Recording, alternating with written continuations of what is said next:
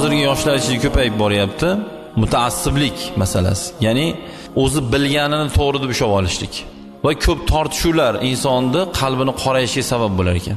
Mutaassiblik qilmaslik tortishmaslik insonni qalbini davolar ekan. Shuning uchun yoshlar sizlarga mani murojaatim tortishdan avval o'zizga savol bering. San kimsan? Nechta madrasa o'qiding? Yo'q man madrasa o'qimaganman. Unda o'ch gapirma. San nima ish qilasan? Ko'nchiman bor. Teringni oshla. Oshna san kimsan? Svarshiyman bor temiringni yopishtir. Bizga bas tortishish oqida ko'kida deyish. U internetdagi youtubedagi facebookdagi videolarga rasmlarga kommentariya yozish. Manga bas sanga bas. Chunki aqlimiz yetmaydi. Qaysidir bir domlani masalasiga man kimmanki man fikr bildiraman. Ya'ni ochiqchasiga bu noto'g'ri gap. Kim gapiribdi buni? E?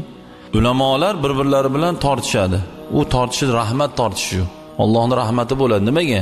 Ular nafsi bilan tortishmaydi. Ikkovlari bilan tortishlarida siz bilan man omi xalq uchun bitta masala yorqin ravshan bo'ladi. Shuning uchun qaysarlik qilmaylik. Ha? Masalan bitta namoz haqida bitta masalani aytdimi?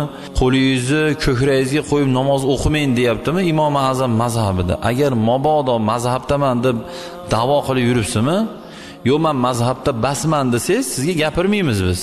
Imom azam rahmatulloh alayhini mazhablaridaman deyapsizmi? Nimaga tilingizda buna deb turib nimaga imom azamni gaplariga teskari ish qilasiz o'zingiz? Siz o'sha o'qigan hadisni imom azam rahmatulloh alayhi o'qimaganmilar.